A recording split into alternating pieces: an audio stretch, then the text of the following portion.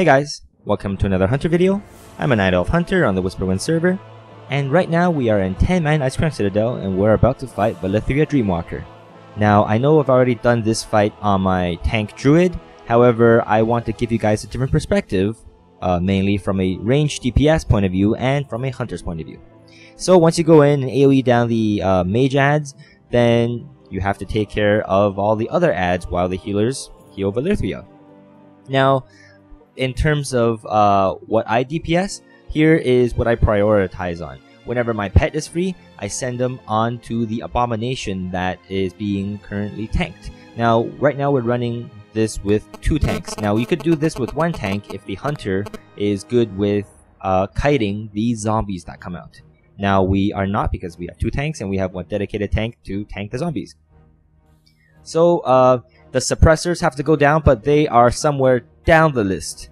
Now, zombies are what I uh, like to hit if there isn't a blazing skeleton out. Zombies, they explode once they die, and so we would rather not have a tank take that damage. The biggest, and as always, doesn't matter. It doesn't matter what uh, raid you're in and what makeup you're in. The one that has to die the fastest is the blazing skeletons.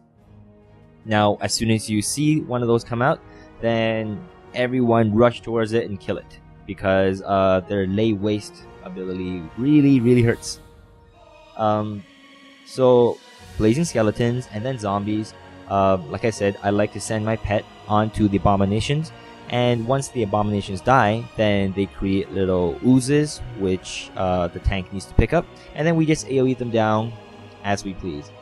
Now, uh, whenever there aren't any one of the other ads, then we take down the mages.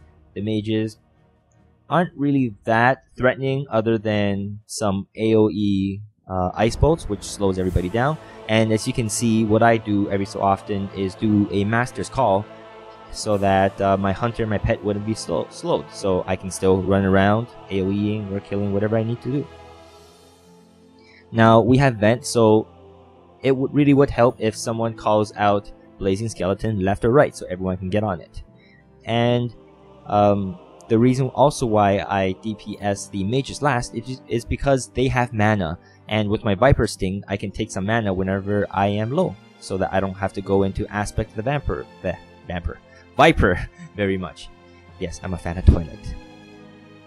Um, and so we are almost done with this fight. Uh, as you can see, after the fight goes on for a little while, the ads start getting a little ridiculous, and we're uh, having a hard time keeping up. However, the healer's doing a good job healing Valithria, and she is back alive, and we finished, and let's take a look at the loot.